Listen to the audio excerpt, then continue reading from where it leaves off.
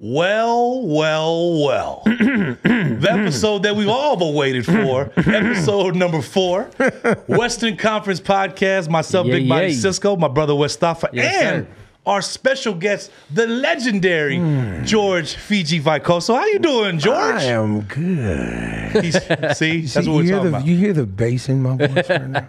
Because you know he knows how to work that mic. As you guys already know, he's a legend for a reason. But how we doing sir. today, Fiji? I'm good. I'm good. I'm glad I'm here. I'm glad I finally got to do the Western Conference podcast. So I'm excited to uh, hear all the things we're going to talk about today. Look, so we have a plethora A plethora. plethora of questions that we would like to go down. But before we even do that, I think this is more to tell the people that we've been doing with me and Western Company, me and West, been waiting for this moment to kind of sit down with all our, not just as our family, but you know, people see you guys as these artists and these legends and these people on stage, but this is actual family that we can That's sit down and talk what he does. So that's why I wanted to get down. Everyone who know J Boog from everyone said, make sure when you get Feege in there, we get the Feege that all of us would like to know and love. Not the stage Feege. We want the Feege that they're gonna tune into this podcast for. well, So you gonna have to say some things on here, Fee. I don't know. I don't know. I'm going to try my best. See, he looks so shy now. This is so different Yeah. for me. Well, this is how it starts out. man. It's like a It date. starts out like this. it's like a date. You know what I'm saying? You see, see, he's so shy right now. Now we got to pull the draws down. So, for those who don't know, who's been under a rock, George Fiji Veikoso has been doing this and been in the game for many, many moons. But what I wanted to get down with me and what Gustavo was saying, we got to know about the humble beginnings in Hawaii and how you got started into the music game. Well, you know, uh, what? actually, no. So let's let's even go back further before that in Fiji. Start In there. Fiji, yeah. Yeah. So, So, like I in the ho- in the hospital room when he came out. why you got? Come on, my mama could be. yeah, I was about to say, moms. my Let me mama shout out could be moms. listening to this. Yeah, right take us back to Fiji, George. All right, so I started um, as a kid. You know, I always had this passion for singing. I used to sing so much. They used to, my family used to be like, "Shut up!" Yeah, you know. you were that kid. I was that kid. Yeah. I just felt like anybody on the radio, I'd be like harmonizing, be like, "Damn." Sometimes I just want to hear the melody. Yeah. So you knew melodies and harmonies at a young age. Yeah, I was like, so when my, my mom and her sisters would do little church uh, rehearsals together to do like a special song over there, I'd be like, you're off, you're off. That's when the slap will come Yeah, right exactly. oh. So you had that tone already in you. You already had an ear for music at a young age. Yeah, I did. But, you know, at the same time, when you start off thinking that you know stuff, then you realize as you get older, like, damn, I really don't know anything, Yeah. you know? But it started off like that. So I started singing in church, and then um, there was this um, little uh, competition. So Like a talent show. a talent show Got for it. the church. It's only church kids. Yeah. So Those are the worst ones, the badass church kids. and They can all sing. of them can sing. So I just went up there all nervous and Yeah. And then I went up and I sang and then I won. So my mama decided back then that I was only gonna sing for Jesus. See, that's how it all starts. Oh, you're gonna sing for Jesus, baby. and so one night, you know, I went out. So my I used to always go to a friend's house, the Tamani's house. It was um, right up the road from my house, and I used to go over there as a kid, spend time with them. They had a family band. Their band used to gig. Yeah. So they, I started going with them. Then they started like, okay, so there was this famous singer named Langani. He was a big singer, like our Michael Jackson at the time. He What was his name again? Langani. He was Okay. like a kid star, He was like the Fijian Michael a Jackson. sensation. Yeah. Yeah. So he was just like killing the radio. So I, I started a lot of my, so a lot, a lot of singers, they start off by imitating other singers. Yeah. So he was the first one I imitated. Then I realized I could imitate a lot of. So you had him down to a T. I was like, I used to come up like, "He sound like so they used to be like, oh my god, you actually sound just like him. I said, Yeah. yeah. Why don't you come up and do uh, a couple of that song? So went up to the barracks, went up there, started singing, and then people start putting twenty dollars, ten dollars, five dollars, two dollars in, my, Slapping in money my on ear, slapping tips. money on me. Yeah. I'm like, oh, I, could- I could do this. So so at that time you're thinking, okay, I'm getting paid. I mean, you gotta I understand. got I'm a- twenties on my eyeball. Yeah, like I'm like I'm like six years old. Seven, Yeah. you know, seven years old, and finally, during the break, my mom. I didn't know my mom was looking for me. Yeah. She came all the way up to the the army barracks where I was singing. Because you're supposed to be singing for Jesus, first of all. Exactly. So you're supposed I- to be singing for Jesus. I didn't know what was going on. So next thing you know, the sergeant comes up. Excuse me, is your name George Veikoso? I'm like, yeah. Like, well, there's a lady here. There's Mama Veikoso over there with a belt. She's waiting for me with my holding my brother, rest in peace, my brother Willie's hand, and just Had that look of death, like you about to get your ass whooped. I said, I'm gonna get it. See, in a Polynesian household, you know what that look is, right? Whereas you Uh-huh. you get that eye and the little twinge of the right cheek is, is you definitely gonna know your I ass is gonna be whooped. So this is the this is the best part. So I went home. Like just we just we just so during the time I'm in the car, I'm getting boom like oh You're getting side shots. yeah. So finally, I waited till we got home. We got into the room. My grandfather's room is right here, Yeah. and I'm right next door. So there's just one wooden wall Yeah. between us. So when my mama started hitting me, I'm like, ah! So grandpa I'm can hear screaming you. loud so that my grandpa can hear me. And then my grandpa says says in Fijian, "Vomitea, vomitea," which means kill him, kill him. I don't want any grandkids. I thought that kill meant him. help. I thought that meant help. Yeah. He's like, kill him, kill him. I don't want any more grandkids. Kill him. God and my mom's like, damn. See, that's a Polynesian household for you. man, that was like the most scariest thing for me. So you know, from that day, you know, they knew that I was just. So he was like, "You're only gonna sing for Jesus. I gave my life Yeah. for this, for you to sing for Jesus." I'm like, "Oh, mom, please." So finally, as I grew older, she realized that it just kept growing on me. So, Yeah. so I left home. I just took off. Went and lived on the side of the freeway. She was getting worried over me, and then they had to send me back to Fiji. This is after I came to LA Yeah. send me back home. And then after a while, they're like, Are you going to behave now? Did you learn your lesson? I was like, uh, Yeah. So I came back, and that's when I came to Hawaii. So you went from LA back to Fiji, then to Yeah, Hawaii. Then to Hawaii. And then from Hawaii, I went back to ch- singing in church Yeah. again. It always goes back to the church at that point, Of right? course. And then after that, I just started roaming around clubs again. Yeah. In Hawaii. And they were like, Hey, bro. I was like, Oh, I like sing one song. Yeah, come on. Like open mics. Open mics. Yeah. So I, when they heard me sing, it was like, wow, bro, this guy got voice. See, I could just imagine because at that age and at that time in Hawaii, hearing Fiji's voice was the closest, the nicest thing close to getting pussy. You, heard that angelic voice.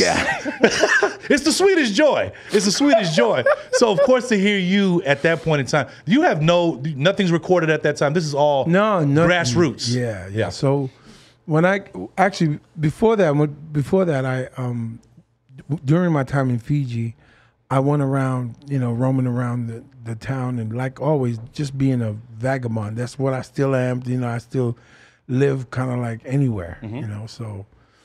I ended up joining this group called Roots Strata, and then Roots Strata is the, the group that um, wrote songs like "Warrior of Love" and Oh wow. uh, yeah, so Rising Stand. So those, they were like a, a reggae group that was about you know um, one love, political, you know, stand up for your right type Yeah. stuff. So I came from that, and then I came over back to.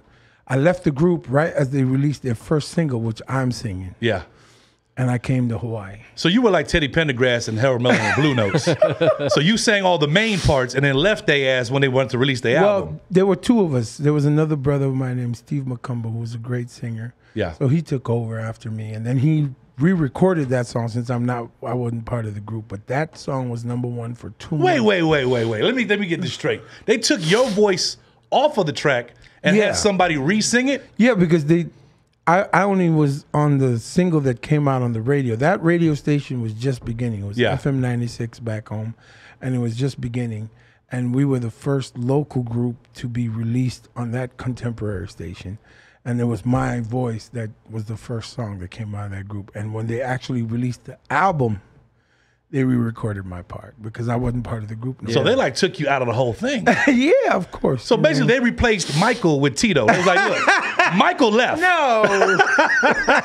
Like, what was the okay? Now that we can look back on it, what was the drop off on vocal talent from the from when you left and who had ended up taking Well, your place?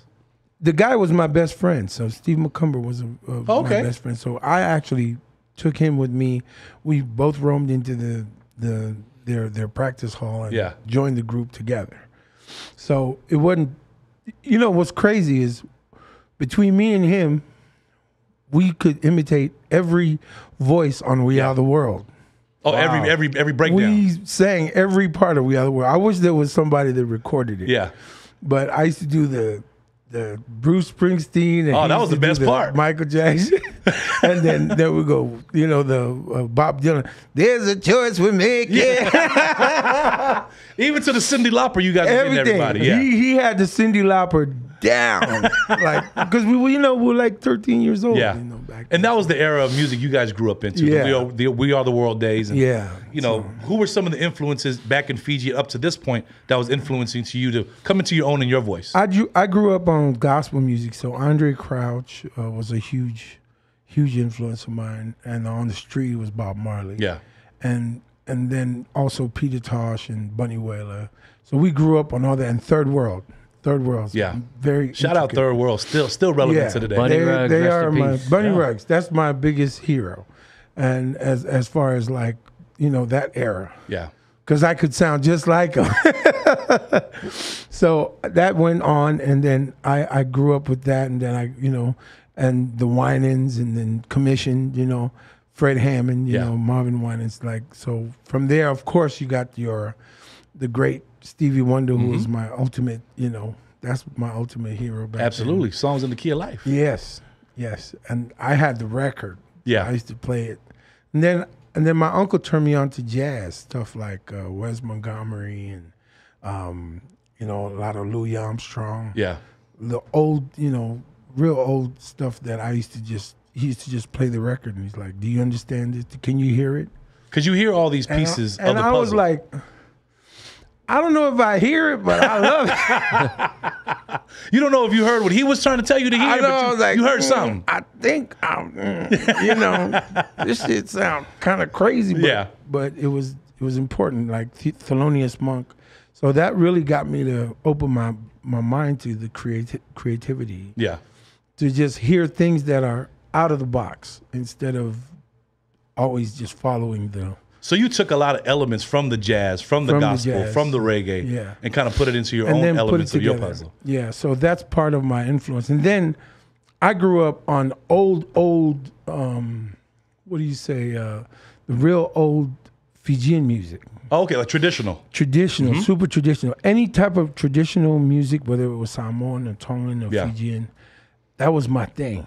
You know, like chants Yeah. and all those came into my head like it was like Skittles, Yeah. right? So it was like, whoa, I could put this with this, and you Yeah. know, and then so I The creative juices was flowing yeah, at that point. so yeah. I would take like a like a wannabe Timbaland beat and put a chant over it. Got it. You know, so that's how we did um, gratitude and stuff, and and so I just kept doing. And then some some I just said I'm gonna go way back and just make this one kind of come in like Independence Day. Like I would just be talking, and then all of a sudden it would The voices. switch into the voices. Yeah, it would come Yeah. in. Yeah, super traditional. Yeah. you know. And then there was somewhere I also, when I was in Redlands, I joined this uh, group, this high school group called the Festival Singers. I was a part of a 60 voice choir. Oh wow. That year, 84, they won the national like award. Yeah.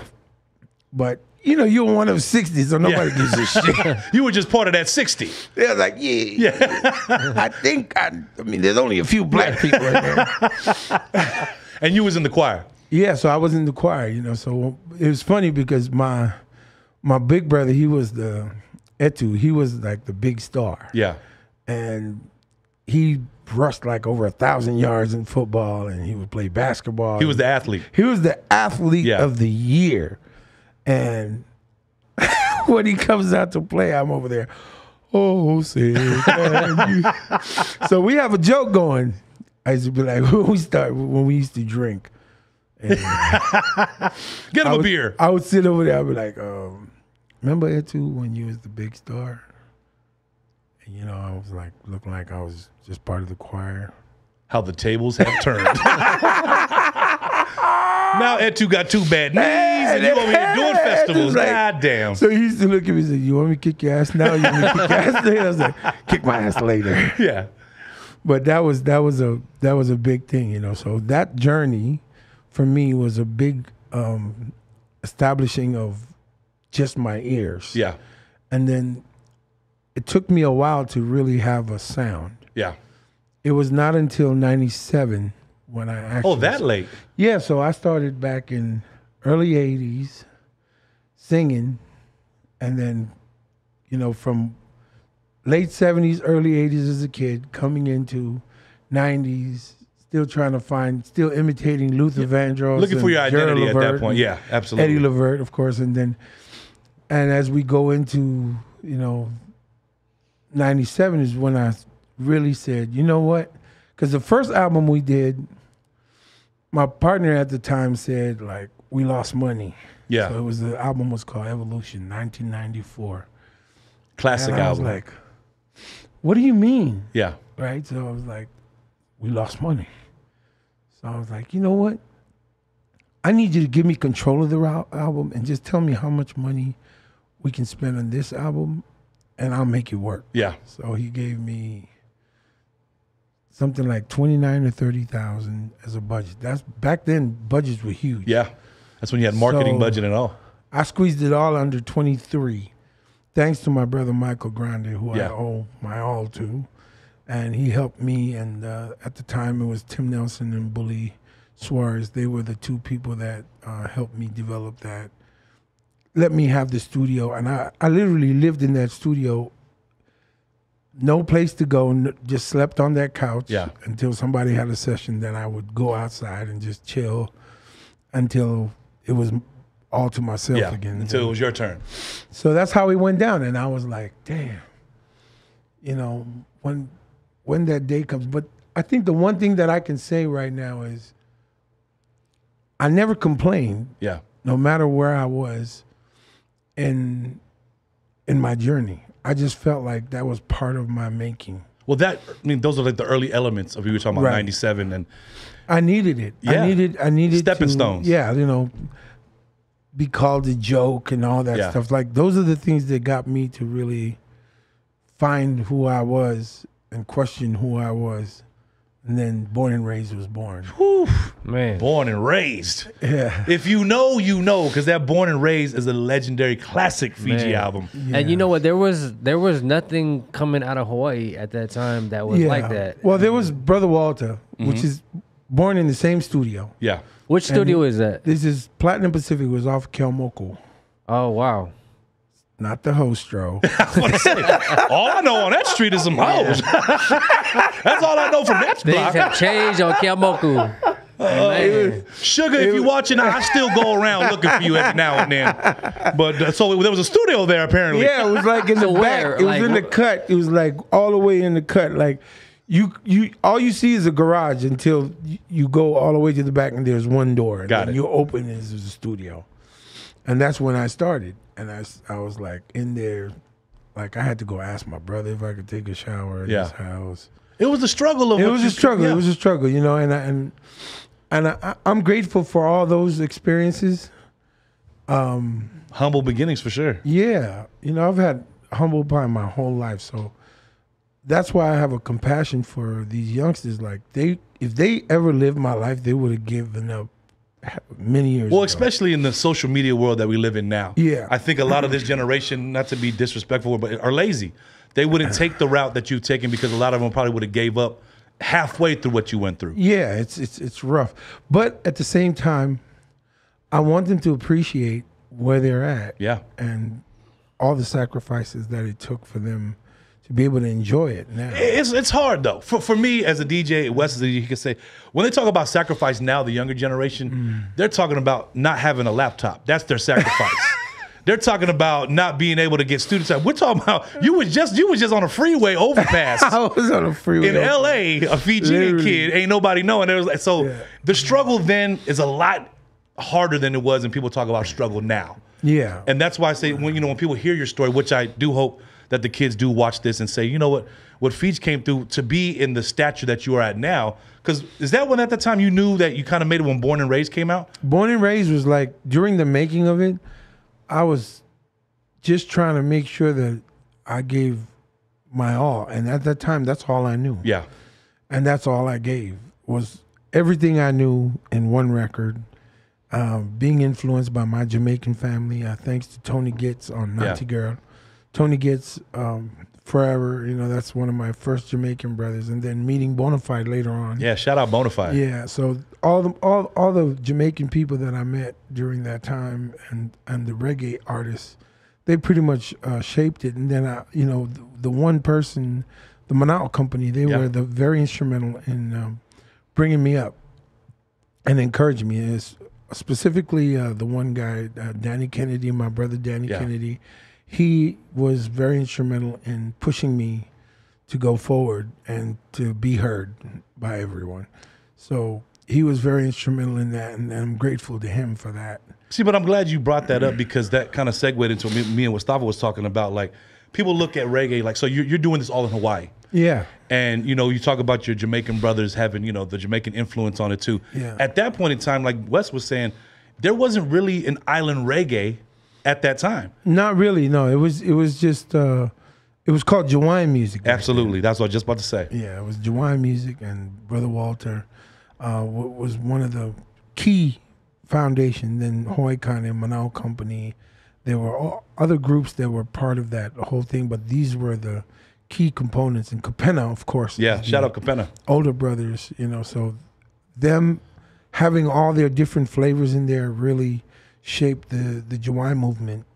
so when I when I came in, I clarified a little bit more of the reggae, mm-hmm. you know, the the sit down, you know. Well, t- take us through that because the transition had to because like you got that Hawaiian music at the time was that accepted by the Jamaicans and the reggae scene no, at that time. no, no. It, it, it was somewhat it was somewhat accepted, but of course they were like, Had their ways. "What the blood clot?" Yeah. you know what I mean? Like. Absolutely. They didn't understand why we were so joyful in it. Yeah. But the this is the this is the flip side to this whole thing. They said one love, Yeah. and we felt one love. Yeah. But as soon as we start to progress, it's two love. Yeah. Exactly. Too many major chords. you know what I'm saying? It's like is their love one love, and then I guess our one love is not. You know what I mean? So that, that was my understanding of it because reggae at the time, well, maybe Wes can um, correct me, but they were more political. Their one love was more political, more of a message, and Yeah. what Island reggae and Hawaiian reggae was was more happy. Yeah, and we had like we. Mm-hmm. added ukulele and stuff, which is they were like, "What is that?" Elements, different elements. From elements, yeah. right? Because we only added elements that we relate to, Familiar with. Yeah. familiar with. So that that that was our thing, and our thing was like, get the family together, everybody barbecue, and we just bring bust out the guitar and the ukulele. Absolutely. So these songs were made specifically so that in the backyard, when you're just chilling, you can just come. "Chicken, uh, Never gonna give you up on the ukulele. Yeah. No matter what your mama say, and everybody's just like, yeah. And they just along. they Yeah. lost it. You know what I mean? They got into the happy mood and everything. Whereas Jamaica is the foundation of reggae. yes. So we're like the little the little nephew, you know, Yeah. like the little little brother. So it was like, of course, we're never going to perfect the style. We just had to make it ours. But see, everybody else formed their style afterwards. Got it. Like, good example, reggaeton, Yes. right?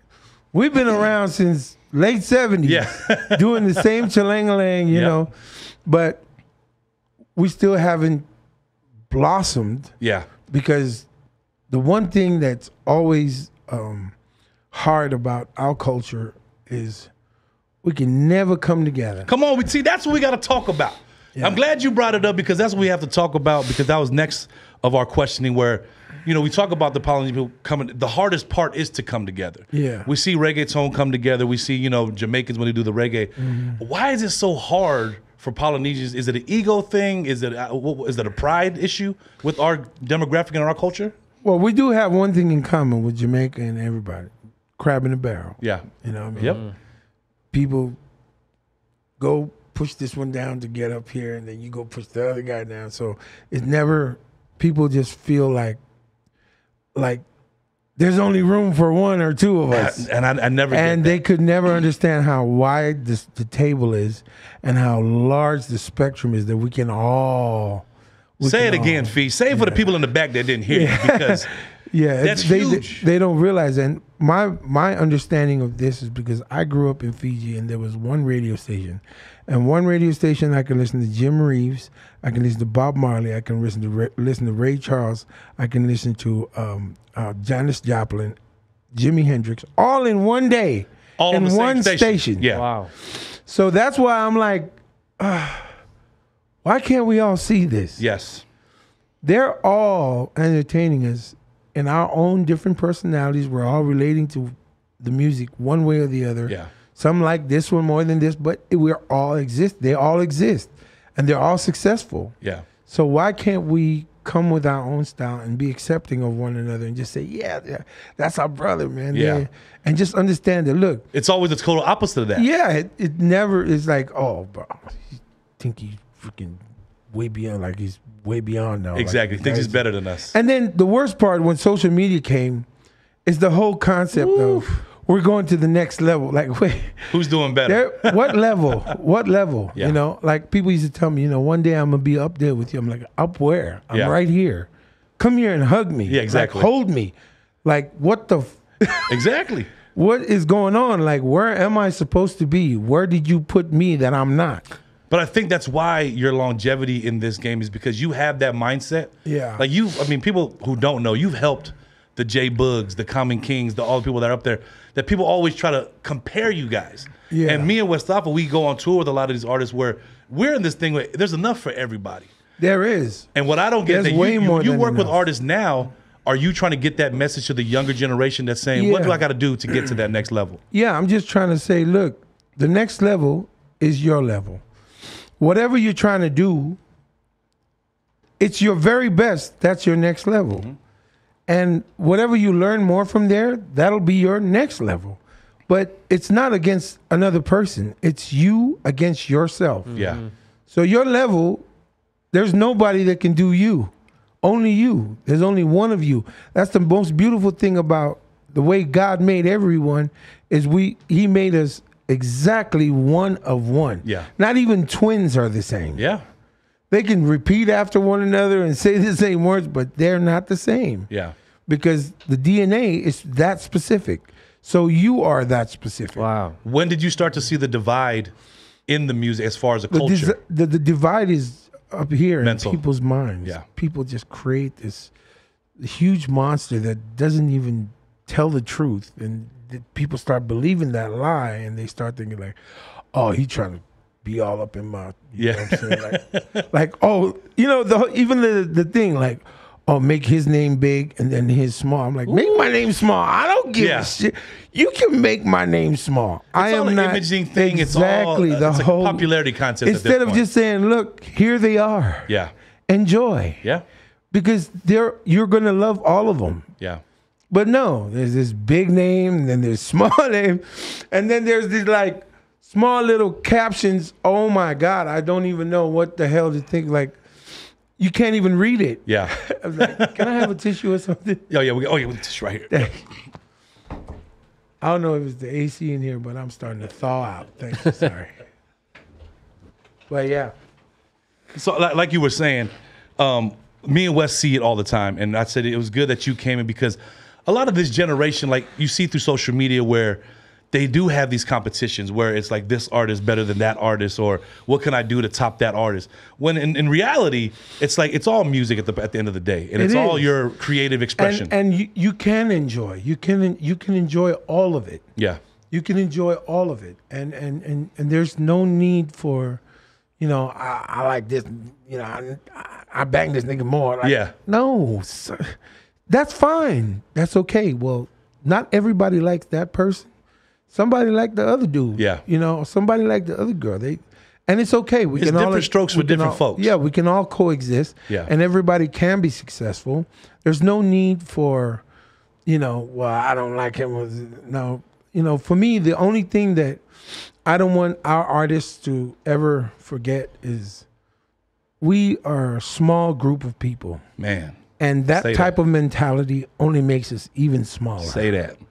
and we don't need to be out here dividing us already this small and we're, now all of a sudden we're like minute Yeah. like what'd you do it was your way of thinking and that and that's what created It's definitely the mindset. It's definitely the mindset Yeah. because we also was talking. Me and Wes were talking about the Grammy issue. Yeah. uh, the Grammy issue with SOJA winning the best reggae album this year. And I said, you know what? Maybe one want to ask your take on it because people are starting to have a problem with American reggae. So like we were deciphering between American reggae, island reggae, and Reagan. Now you have one category that's kind of splitting everybody together. That's right, Russ? Yeah, and I, you know, and actually, the Kings, as you know, we all know, Common were Kings, yeah. nominated. Boog was nominated twice, so Mm-hmm. we're in the realm Yeah. of recognition. You know, So like we're in the vicinity of Yeah, like well, being recognized. On yeah, a- I on would a- say this year was probably the first year that uh, it wasn't an artist from Jamaica that won it. yeah yeah and and and that should not even be like a thing you know what i mean it should be just grateful that a reggae group won you know like they're perpetuating something that started all the way back before even these artists Yeah. yeah. that come out. They were perpetuating what they learned from listening to Bob Marley and Peter Tosh and Bunny Wailer. And that's all they're they're just they're just perpetuating mm-hmm. that. So if you're gonna be mad at them for that, that's Petty. on you. Yeah. but being mad at them for being white, that's a little too petty for me. Well, Yeah. that and we were talking about just the recognition of the Grammy alone. That they're kind of putting that as Yeah. they're being solidified as an artist if they're nominated or if like you, you've been in the game how long, Feej? And you know to see that years. you wouldn't need a Grammy nomination to kind of like I really your don't career. care about Absolutely. it. Right. I don't. I, I I don't. You know, it's a horrible thing for artists. Yeah. to be one it's the same thing we're going right back to that thing Yeah. only one of us can win Yeah. it's like wait a minute are we playing bingo Yeah. you know what i mean Yeah. like this is not bingo you're playing with people's lives and people's livelihood so be generous to spread it out and make it wider so that other people can be recognized for their efforts in the same genre It's so crazy. now, just because the Grammys recognized one group instead of a Jamaican group, that's the that's on the Grammys. Yeah. But do you know how you win in the Grammys? no. The committee, right? It's Oh, the your committee. peers. yeah. So these are people it's not voting. the Yeah. people voting, it's your peers. That's how they won. They won because other artists and musicians voted them in. Yeah. The Grammy committee.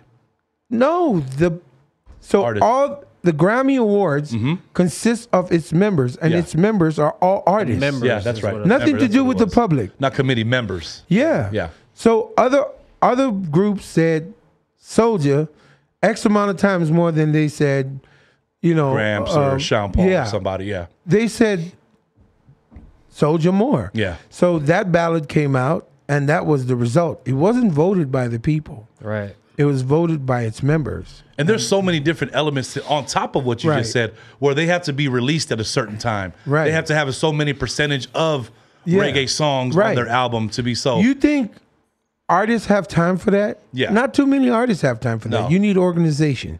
You need if to have. that's if that's their end goal, Right. Like if their end goal is to win a Grammy, then okay, Yeah. go through all the steps that you got to take. if to you if everybody took that step and went and tried to influence Yeah. all the other, like be the number one Jamaican reggae artist Yeah. to all the rest of the artists, they would be, they would be winning every year. and it's so crazy because me and Wes were, were saying that they don't even broadcast the best reggae album. Like they had that before where they didn't even do the best hip hop album. Yeah. And now they're starting to say, okay, well, there's a little popularity to it where it's just it's crazy because the only thing that I feel that artists get from winning a Grammy is better billing and better pay That's on it. their next thing. Because they can That's say it. Grammy Award winner, That's Grammy it. nominated Yeah. going forward. That's so it. it's def- so I, like I said, what were you talking about at West? What the Grammys were? They shouldn't hold, you know, th- their whole career hinging over a Grammy nomination. Exactly. Yeah. That's the worst thing. Like, did you really work this hard just so you can win a Yeah. Grammy? Then your job is done. Just Yeah. retire. You know what I mean? You sp- you're here for a lifetime. This is a lifetime achievement. Well, I think This it is- was. I think it was Drake. He pulled his album from the uh, the Grammy nomination. Oh, Drake did. Yep. Yeah. Yeah. Yeah. And it's you know like we talk about you know when you play sports, there's a participation award. There's, Right. And now that we have like the Oscars, the Grammys, everyone's kind of holding a candle to it. Where like, oh man, I have to win. That's like the pinnacle of their career. Yeah. We're talking to you that's been in the game over 50 years and have. well, come on, nigga. He Damn, was born. He was born. Yo, but I'm saying you got an artist that's legendary as far as you, where you could give a shit if you win a Grammy or not, and you'll still get the same billing as somebody that won two or three Grammys. Yeah, I mean, but the thing is, it's like it shouldn't be important. Yeah. The important thing is the impact that you have as an artist to your to your audience. That's the real, the real, the real accomplishment. How much? How many lives did you touch? Yeah. How many lives did you help change in the in the course of your your musical life? I don't even want to say career because Yeah. career is something that ends. Your musical life, your musical journey. Oh, I like that. Say that. what so not a career, your musical No, life. your musical life, your musical Yeah. journey, because you have made this your mission Yeah. for the rest of your life. So that's until we can't breathe no more. This is our way of giving to our back to our public, back to our audience, to the people that gave us that time of day Yeah. to download to put our their put our music in their ears and their hearts and believe what we believe for that moment for that 3 minutes and 30 seconds. Yeah. they took that time to say i love it. Exactly. I, I, I feel this way. And sometimes depending on the power in your music sometimes you you're helping people not commit suicide or some people be like under, understanding that you know what there's a better tomorrow. You're giving them hope so what is your what is your purpose if it's just booty Yeah. then go ahead and sing that booty thing the get booty all the booty you Yeah. want but if you just want if you really understand the broad spectrum of, of, of musical reach that you can have Yeah. then be about it and stop thinking about that one accomplishment. You know how many times people have recognized and try to stick me on the- like they I, I don't believe all that stuff. Like Yeah. People say legendary, that's great, that's cool. I'm still here. Yeah. I'm not dead. they you know what I mean? There's nothing legendary about me. Yeah. After I'm gone, if that's what you want to call me, that's fine. But I don't feel that way. I feel like But I think that goes back to like what we talk about when like we, we do shows, and when I say you know I, I put a lot to call somebody a legend. Yeah. And I think you know you being the artist that is being called a legend, of course you wouldn't want to be you know like oh don't don't do that. But as someone as a fan, Humble guy. That's the humble. hum, malo Fiji. humpo Fiji, we want we want the malo. we want the beer but, Fiji. but this, is, this is the thing though. My, my my my mentor, Dr. Adrian Ewan, said it best to me. He said, "I'm just a beggar telling other beggars where the bread is." That's Ooh. exactly it. I don't want to like. If I found a piece of bread here, that's I'm gonna let you know. This is where it is. See, but in this game, everyone not has that mentality. Well, hopefully, Especially- hopefully it can grow. hopefully can- we can change that. You know, I mean, it's just one person, but the more people that do it, you know, like right now with with with all these youngsters that's coming up, like Maoli, who's powerful Yeah, coming up. shout out Maoli. Josh Tatofi coming up, powerful. J Boog, like they're they're coming into this this beautiful experience on their own, and they're growing, and and you know, and I can't even tell you the green and all these great, you know, everybody's coming up, Yeah. doing their thing, and it's beautiful. And if we just allow everybody to just do what they do and be themselves, Yeah. everybody gonna buy it because you know what? It's a lifestyle, and a lifestyle is not singular. Yeah. A lifestyle is go to the beach or go to work. Yeah. It's that's our mentality. We we're multidimensional, we're multitask people.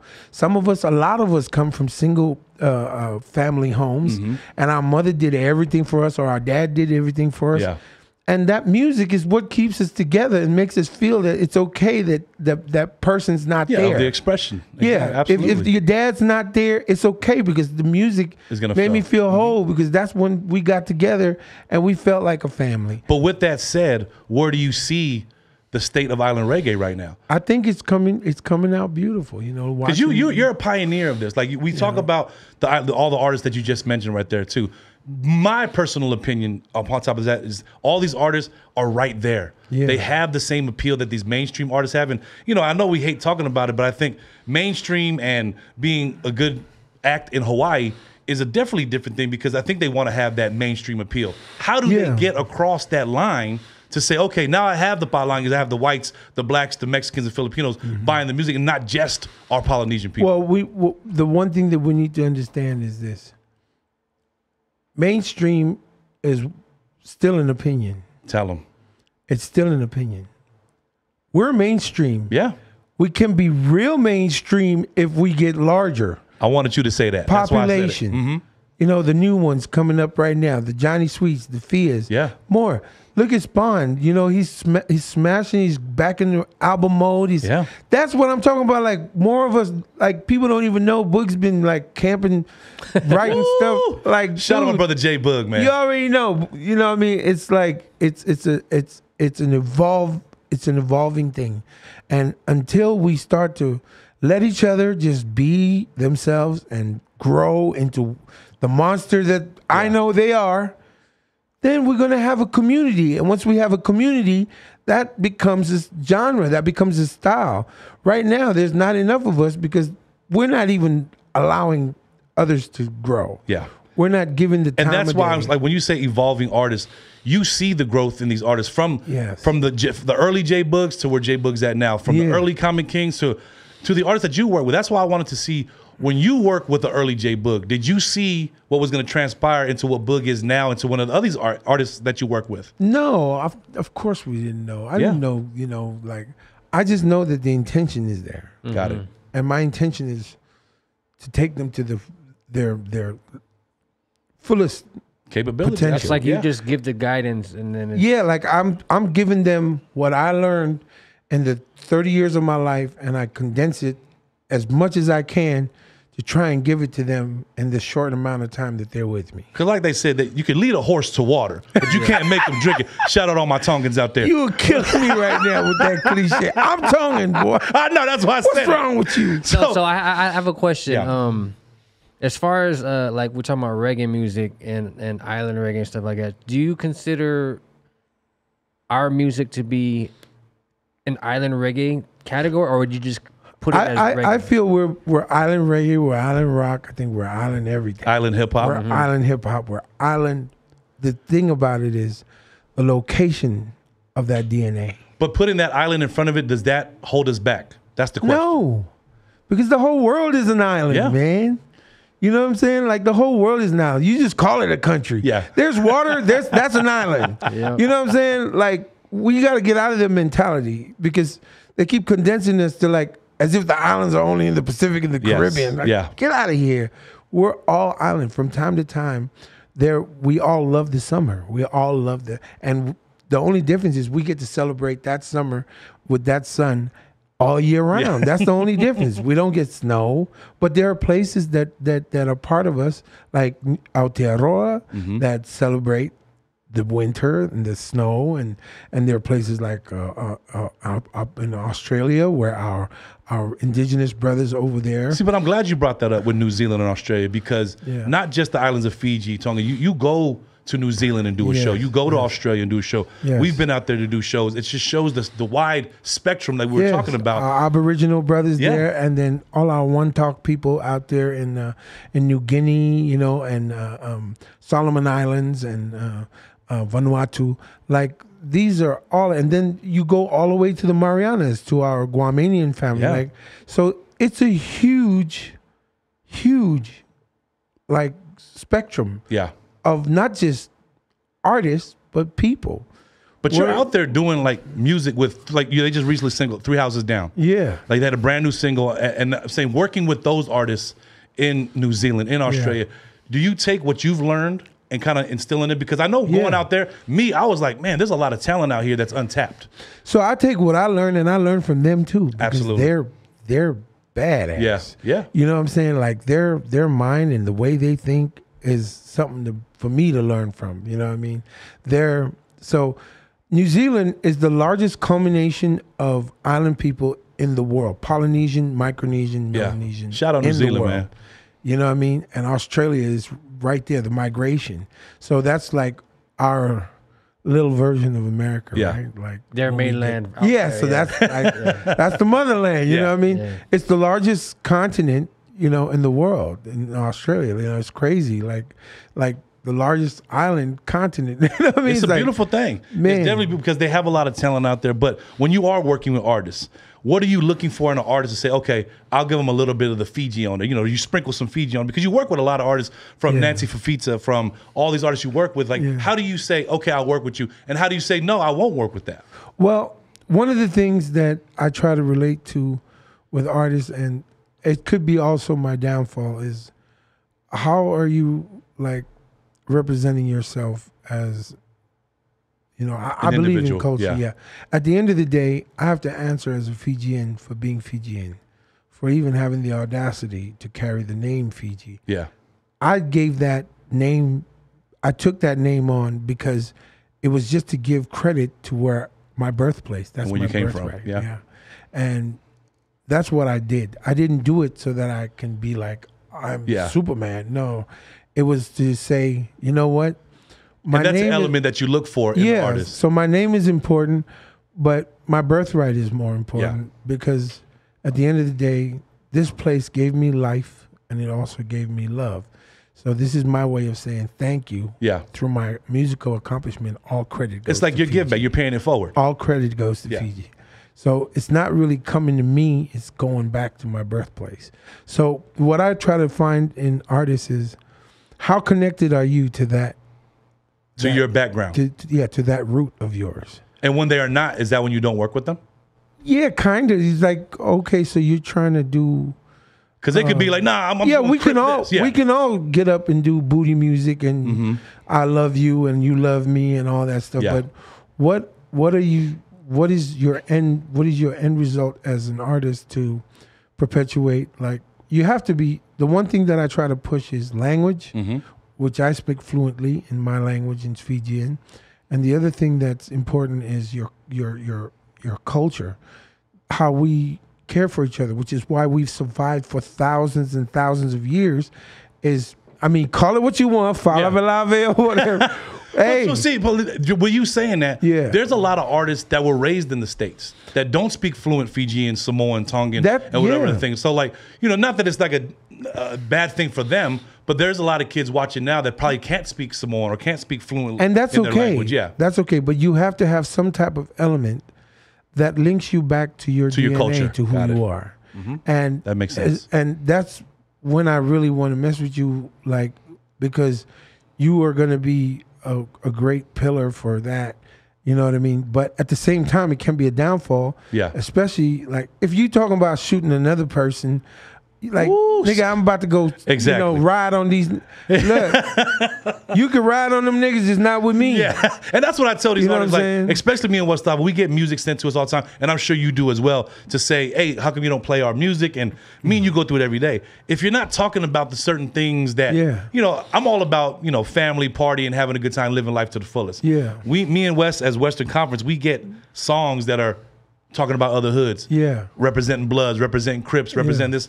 I just personally, and I'm sure I can speak for West, I can't play something like that. like the same thing with me is like my whole purpose is to perpetuate us and to raise us up and to raise us you can do all the music you want just be proud of who you are and understand that you come from some parents you come from somebody you know the the the fact that somebody worked hard to get you to be even born in, in mm-hmm. america Yeah. that person made a sacrifice.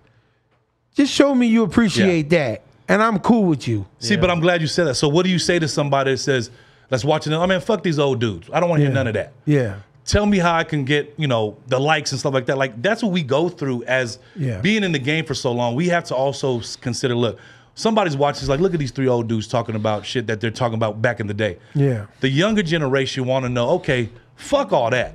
What can I do now? What little gems can I get from Fiji, who's been doing this for many moons, to say, okay, look, I might not have the culture part, I might not have to, but I still want to do what I do. What can they take away from you saying, okay, this is how you further your way in, in that realm? what I- what I could share with them is just understand that you don't have to work with somebody like me, but in order for you to make it, it takes a tremendous amount of sacrifice on your part to be able to accomplish and understand that even when you accomplish that, if you ever look up, there's a long stair. Yeah. And that stair goes all the way up. Them stairs go keep going up as long as and you can keep accomplishing everything, but at the end of everything, you're gonna realize that it was just your will Yeah. that created that. Them stairs that you looked up, that's really your intention. A lot of That's- kids are taking the those are elevator. your Feach. dreams. A lot of take a lot Yeah. of kids are taking the elevator and taking the escalator right now Yeah. and trying to take the easy route. Yeah, but the thing is, there's no shortcuts. But I think Ev- social media is the shortcut. In my in opinion. one sense, In but, my opinion. But but in one sense it is, but at the end of the day, there's no shortcuts. You have to go through each step. As you progress as an artist, as you record the record, there has to be a certain amount of quality that will give you that appeal. If Yeah. you want to be mainstream, well, here's the mainstream Yeah. frequency and mix and master. yeah. That's what you have to get to. And when you actually accomplish that, then you have to pretty much have a, a, a following, right? So Yeah. all these there's no there are no shortcuts. And no matter follow- how when much you say following, Yeah. I always say artists they're as good as their buzz. So if they have a nice social media presence, Yeah. it's crazy how not everybody, where there's a talent that's not as talented as somebody that doesn't have a social media following, Yeah. and is so much more talented than the person who does have that buzz. That makes Yeah. sense to you? Oh yeah, for sure. I mean, like talent is always gonna come shine through. you Yeah. know? I Yeah. mean, 'cause Especially somebody- through the shortcut. talent Yeah, will always sh- show, but longevity is where the shortcut will kick in. Whatever you Yeah. took a shortcut on, you're gonna have to make it. It'll come. It's- You got to make up gonna- for it somewhere. Yeah. It's gonna, show up one way or another. that that road will not end. And if you keep wanting it more, that road will say, "Okay, by the way, you took a shortcut Yeah. here. Here's the actual path." Yeah. And then that's when that's when you have to say, "Okay, I have to do it." Yeah. And I'm for in order for me to cross that. You know what I mean? For, for So- time for time's sake, we don't got a lot a lot more time. But what I wanted to know is that you saying longevity, you saying on this, the top three artists of all time, and you personally, this is just going to come out of left field with it. Who are top three artists, dead or alive, that you would either wanted to work with or worked with on the top of your list? You said Stevie Wonder was one. Stevie Wonder, Marvin Gaye, and Bob Marley. See, but Bob's always on Well, everybody. yeah, that answered one of my questions because you know, the, you know, we be mixing and stuff. A lot of the conversations that we be having is, oh, Lucky or Bob, and I'm like, no disrespect to Lucky, but for me, Lucky's great. I love Yeah. Lucky. I, I met Lucky. I had hung out with him. He's a great person, you know. But Bob is the actual originator of the style of reggae. That and I'm we glad you all- said that that you hung out with Lucky. So Yeah. out of all the artists that you hung out with, And I love him. Yeah. I love him to death. Like for instance, Rest in like, peace, Lucky, Rest man. in Peace, peace, Lucky Dubé, yeah. He's the Pacific's Bob Marley. Yeah. you know what Yeah. I mean because he related to us in a way where we just lost our mind Yeah. for a minute. You know, we just. You know, especially with um, freedom fighters standing on their the mountain. mountain, like ah, Yeah. you know what I mean? Absolutely. Yeah, he was about he was about the people, and I, I will always love him for it. But that is all coming stemming from what Bob started. yeah, you know, stand up, rise up, stand up. You know, uh, get up, stand up, stand up for Yeah. the right. All those songs. You know, we refuse to be what you wanted us to be. You know, we're talking about history, like Yeah. Bob Marley, Lucky Dubé. Like you, you're still in studio, still doing work, still putting out songs. Like and I what still got a long way. to Ex- go. I was about to say, what keeps you motivated to keep staying in the studios and making sure the younger artists get the sound that you want? Well, I, I, I, I always look to what more can I do, um, not only as an artist, but as a person that will be able to give back to my community. You know, I always think about how we can make this beautiful thing bigger. Mhm. You know, this it's growing and it's beautiful, but the more we collab, the more we get together, the more we love one another Support one another. and support one another unequivocally. Yeah. With no hidden agendas. Exactly. Like, like I'm trying to do it, you know, because you know we're gonna get them girls. Yeah, exactly. Like, get, get, get. I wanted to bring up one thing. Um, it's kind of like this thing that's been going around, and it's uh, you know, a lot of homies always want to have the unreleased. Yeah. you know and so how do you feel about that like as far as you know music getting leaked and stuff like that because i know I it's learned- happened I to everybody I learned that lesson during Born and Raised.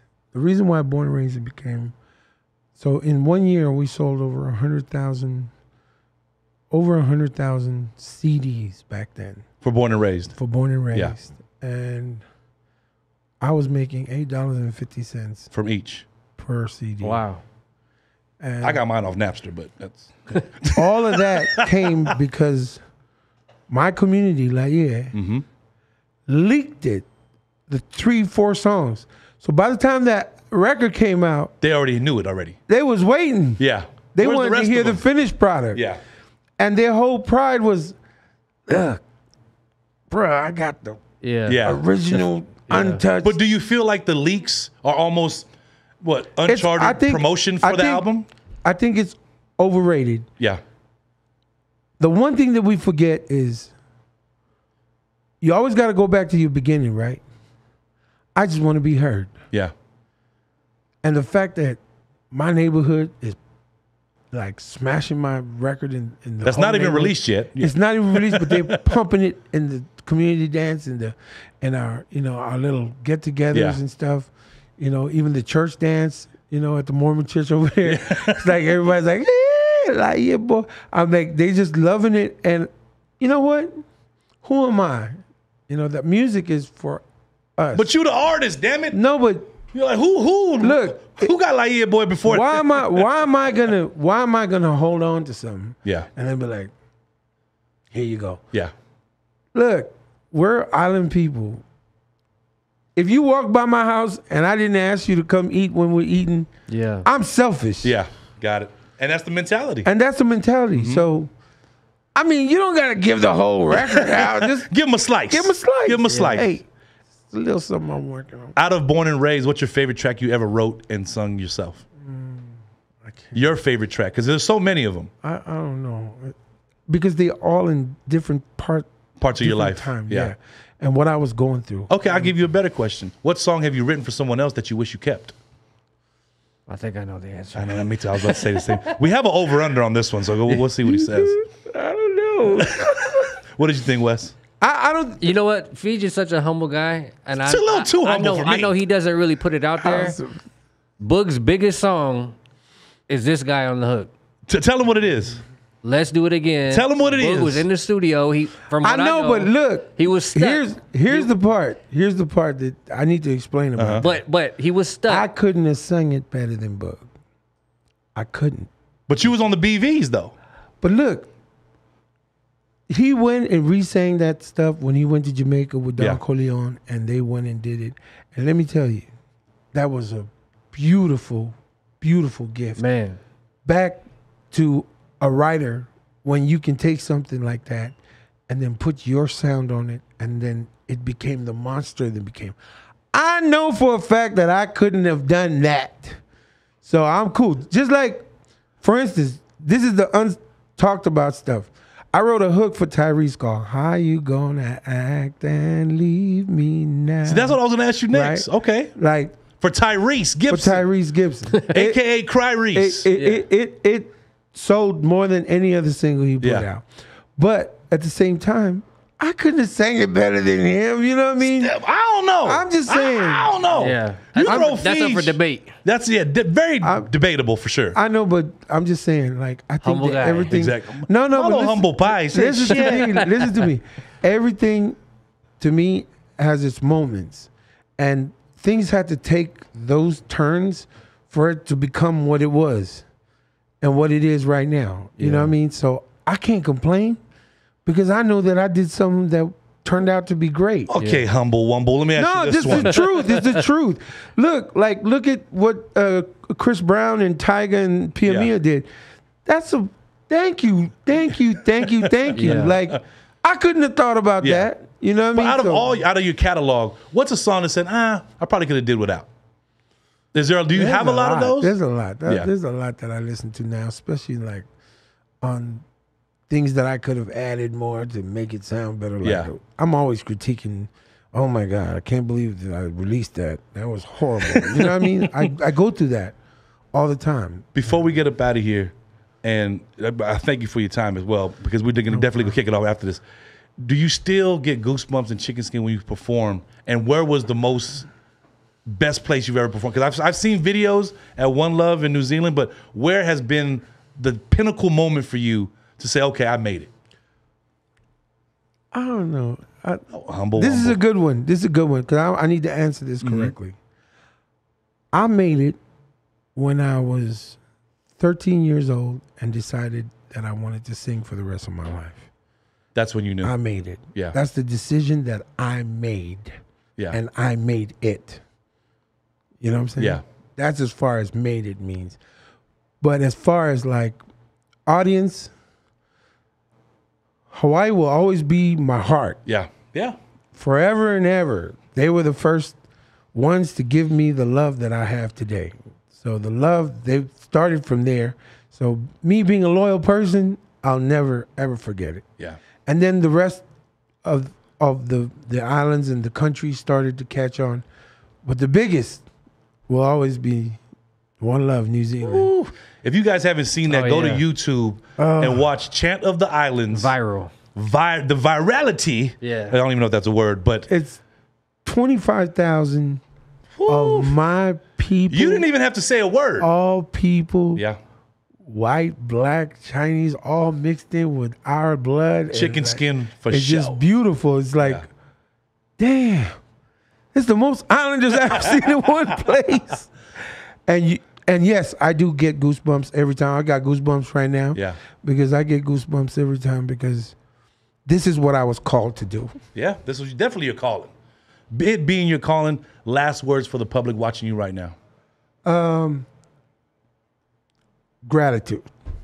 Come on, man. Come on, man. Shout out to my brother Fiji. Big up Fiji, man. The Man, one and only. The one and only George Fiji Veikoso. We thank you, my brother. Because I'm telling y'all, man, we love y'all. We'll see you guys on the next one. Western Conference, we out. Peace. Boom, bang.